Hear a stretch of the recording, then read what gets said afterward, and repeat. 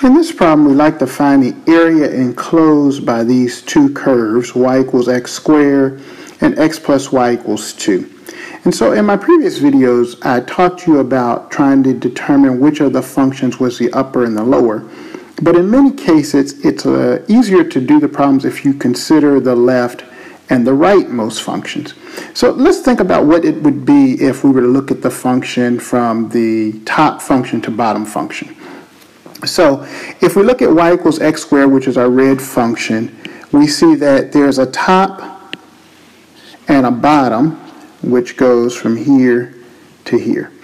So clearly, if I were trying to find the area of the red portion, um, up until I got to a place where there was an intersection, right there, my top function would always be y equals x squared. My bottom function would always be y equals 0, which is the x-axis.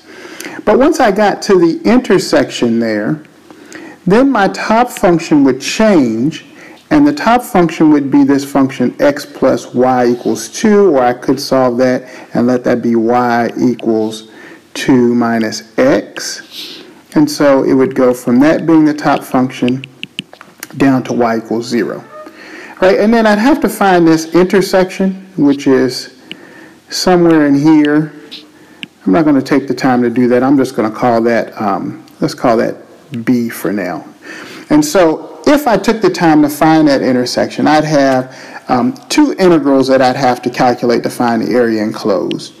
One of them would be the integral from 0 to b of the function y equals x squared and just for emphasis, I'm going to put here minus the lower function, which is 0, dx.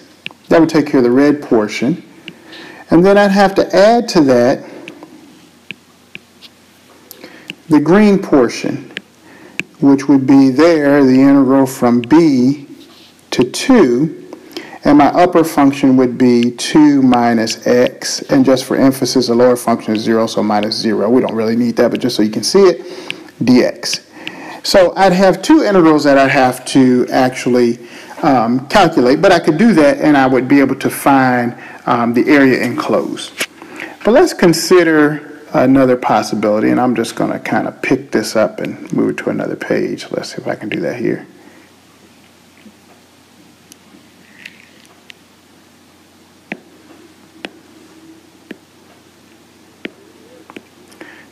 So here's my picture again, but let me consider it differently this time. And so I'll use a different color. Let me use purple. Suppose I look from left to right. Then I would be going from here over to here. And notice that I would be doing that all the way from where y was equal to 0 down here up to whatever that value is where they intersect.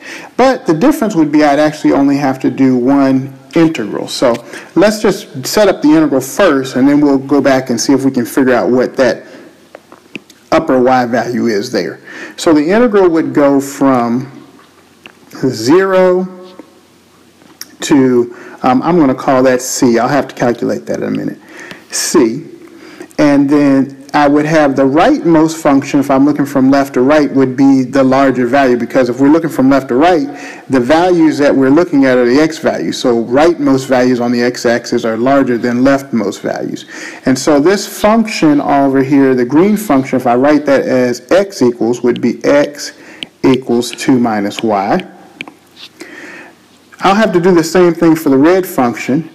This red function would be, if I look at that, it's on the positive side there, so that would be x is equal to plus the square root of y, okay? So the rightmost function is that green function, which is x is equal to 2 minus y. And I'm going to subtract from that the leftmost function, which would be x is equal to the square root of y. Let me use a bracket.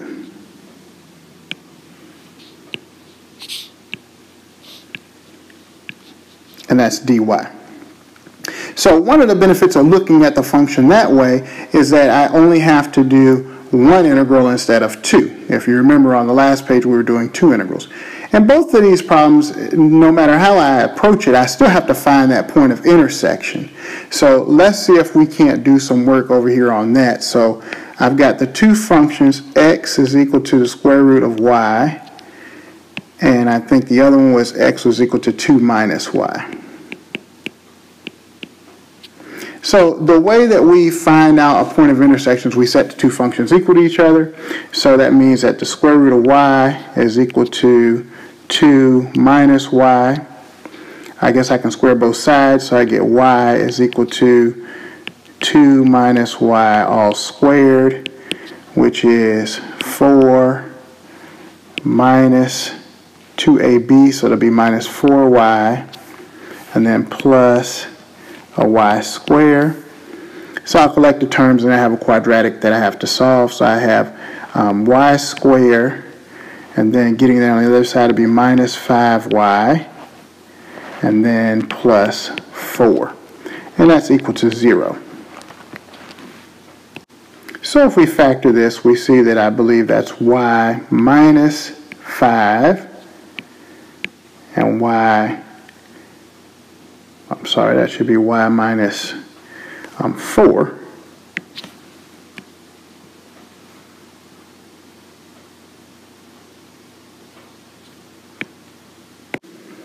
and y minus 1. So I think those are factors of 4 that add up to 5, and that's equal to 0. So that tells me that we have intersection at y equals 4 and y equals 1. From the original equation up at the top that we were using to try to find out um, the intersections, we see that the left-hand side is the square root of y. So that means that our solution y equals 4 won't work because 2 minus 4 is negative 2 and the square root of a number will be negative.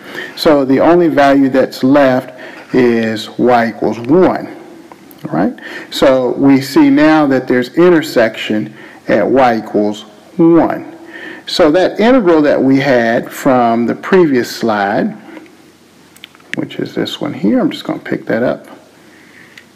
Copy that.